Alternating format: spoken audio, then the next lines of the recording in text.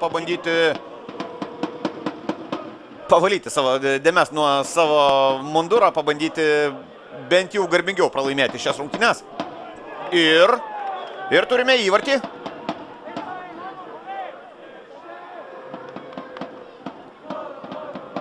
Toks, sakykime, ne per nelyg logiškas savo esme.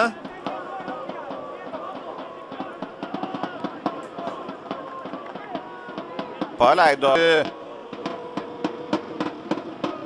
pavalyti savo dėmes nuo savo mundurą, pabandyti bent jau garbingiau pralaimėti šias rungtynes. Ir, ir turime įvartį.